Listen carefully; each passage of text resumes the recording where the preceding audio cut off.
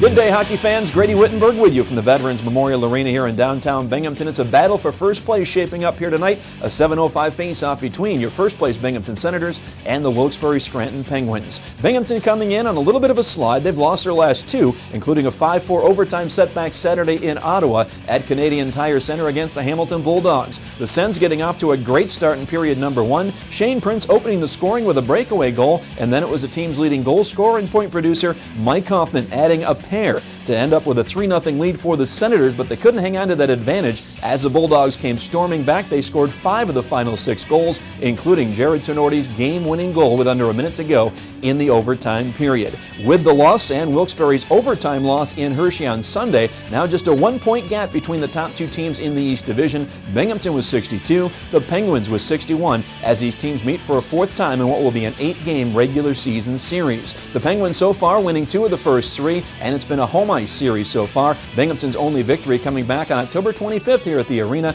in a 4 3 shootout decision over the visiting Penguins. Since then, Binghamton losing two in a row down at Mohegan Sun Arena at Casey Plaza.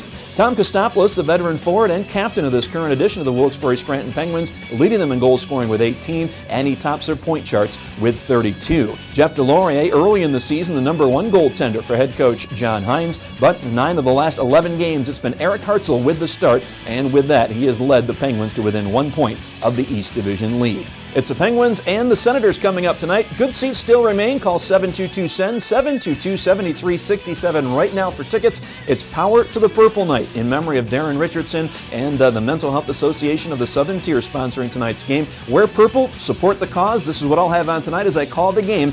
And bring your radios. You can catch my game night call on Oldies 96.9 and 680 WINR. For Game Day with Grady, I'm Grady Wittenberg. Enjoy tonight's contest.